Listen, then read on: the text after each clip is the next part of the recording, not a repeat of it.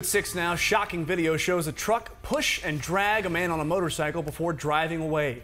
Silent Witness says this happened earlier this month at 27th Avenue and Earll Drive. Was caught on the dash cam of another car. That's right. Check out this video. Take a look. On July 10th, just after 5 p.m., this motorcycle appeared to stall in the road when the light turned green. Well, the driver of the truck behind him seems to run into this motorcycle on purpose and then begin to push it until the bike and driver fell over. But it didn't stop there. The truck then dragged the man before driving north on 27th Avenue, and now that driver could face some serious charges.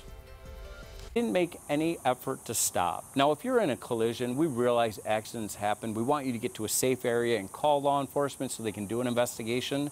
But this person didn't stop, they didn't render aid, and they didn't check on the person who was hurt. And that's why they're looking at serious charges. If you know anything about this incident and who the driver of the truck might be, please call Silent Witness. That phone number 480 Witness.